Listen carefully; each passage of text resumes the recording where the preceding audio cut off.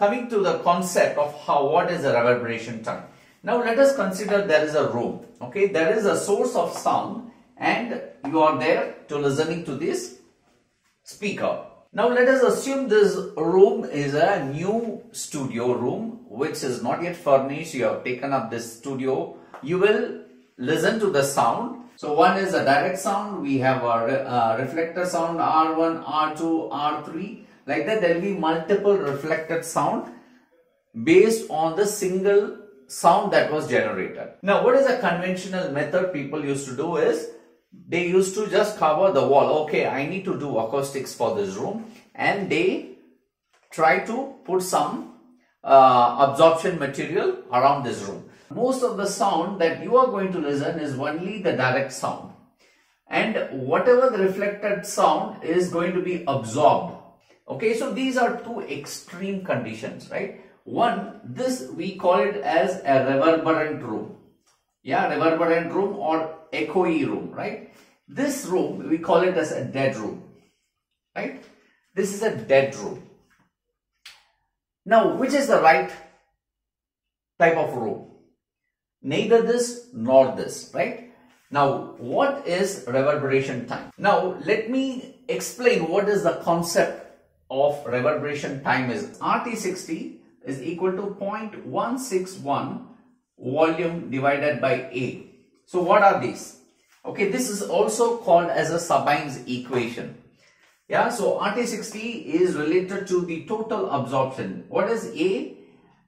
Now RT60 is measured in seconds. So unit is in seconds. Now A is the total absorption. Total absorption inside the room. Okay, total absorption inside the room. And what is V? V is the volume of the room in meter cube. Okay, this is how it is related. So, uh, what is A? In the previous uh, lecture you have studied, A is equal to the sum of S times alpha, where S is the surface area, yeah.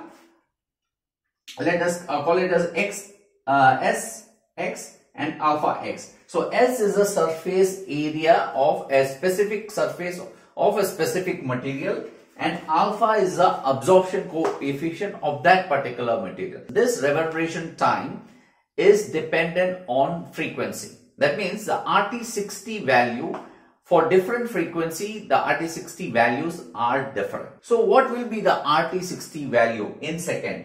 Here, let us assume that here um, it is totally reverberant, where, whereas here it is a dead room. Maybe the dead room, the RT60 value, say 0.1 or 0.05 seconds, like that. So which means it's totally absorbed. And in this room, what will be the RT60 value?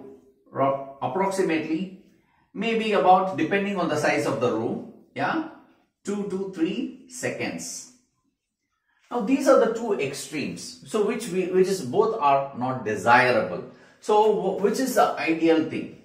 Ideal thing is somewhere in between. The purpose of doing a room acoustic treatment is to have uh, different types of material like absorption panel, diffusion panel, low frequency LF absorber or bass traps. So combination of all these panels put together inside a room is going to determine the right type of reverberation time.